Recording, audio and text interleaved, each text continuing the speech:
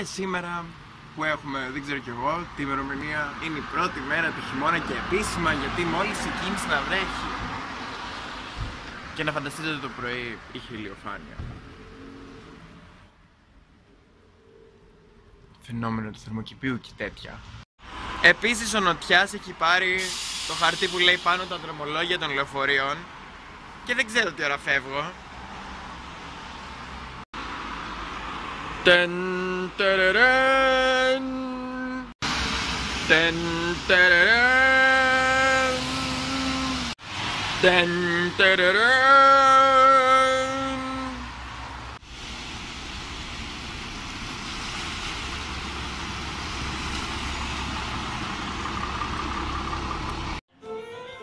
Dun, dun, dun. Dun, dun, dun.